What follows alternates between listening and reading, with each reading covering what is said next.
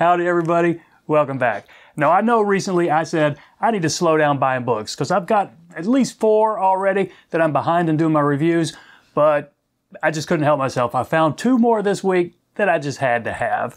They are both by Mike Dawes. It's his Fly Tier's Manual and Fly Tier's Companion.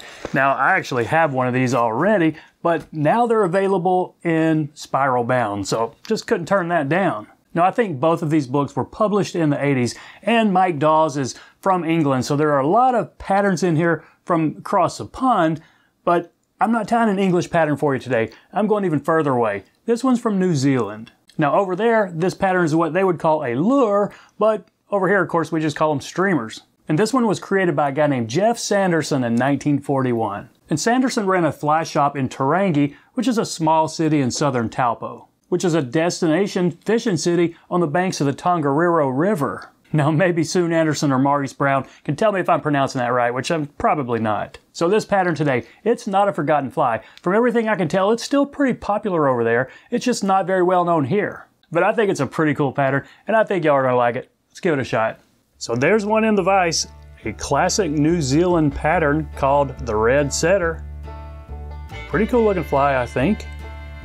Now common sizes for this are 8 and 10s, just a 3x long. So this is a generic streamer hook, 3x long. I'm going to go ahead and pinch the barb right there. And I'll lay down a base of brown thread.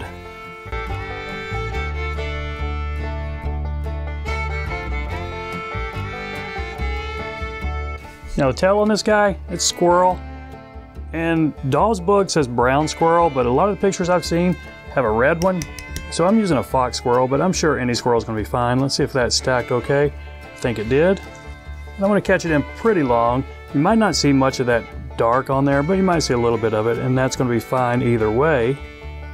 So let's go ahead and catch this in with a pinch wrap. And I forgot to wax my thread, but we'll make it work. Just try to keep it on top right there. And that's going to be good enough. So I'm going to use some loose wraps and just make this part of my underbody going up.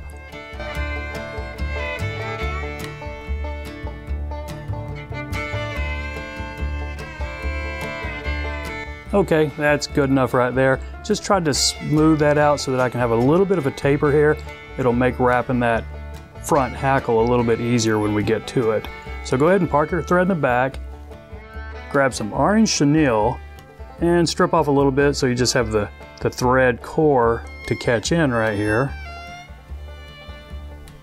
Okay, I think that's fine. Now park the thread right in the middle where you want that center hackle to be. So go ahead and wrap this up to your thread. And this is a medium chenille if I didn't mention that.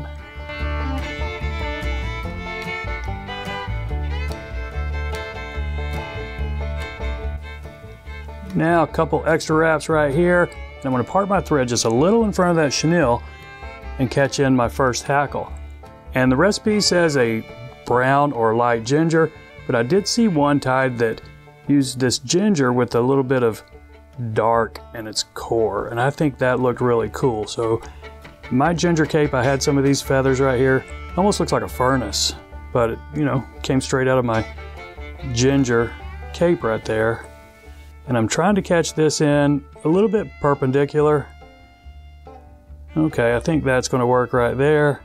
A few extra wraps, and I'm going to go ahead and snip this stem off right here just so I don't have too much to have to bury.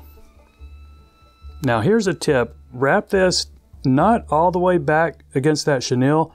That way we can take some wraps and then have it a little bit of a swept back middle hackle. And three or four wraps I think right here will be fine.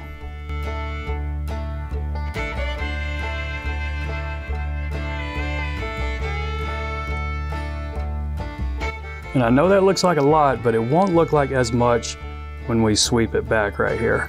And you can either do this with your thread wraps, you could probably do it with the first wraps of your chenille. And I may just do it with both. So just try to sweep these back a little bit right here.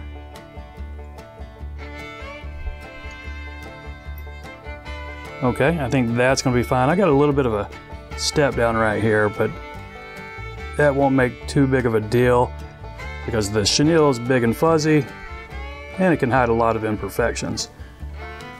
Now just take the next piece of chenille, strip off a little bit, leave a little bare thread right there and catch this in. And we're pretty much just doing the, the exact same thing we did on the back right up here. This time park our thread up here where we're going to catch in the front hackle. I got a couple of fibers there that don't want to cooperate, but I'll make them cooperate or else snip them.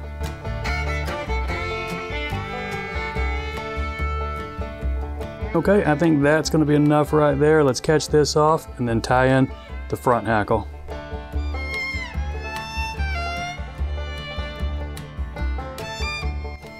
And I'm going to use that same type feather right here. It's a ginger, but has that dark center core. And again, I'm going to try to catch it in perpendicular, but with enough room here that I can sweep it back. And that's not going on just right yet.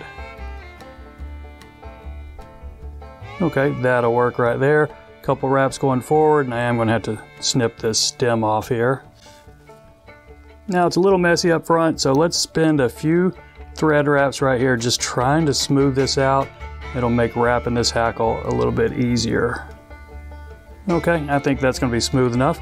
Now same thing up here, a good four or five wraps.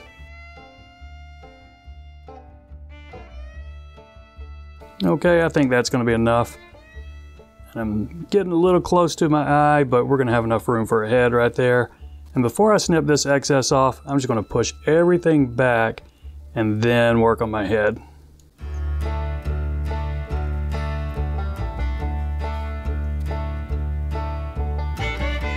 Okay, now let's snip this excess off and finish our head.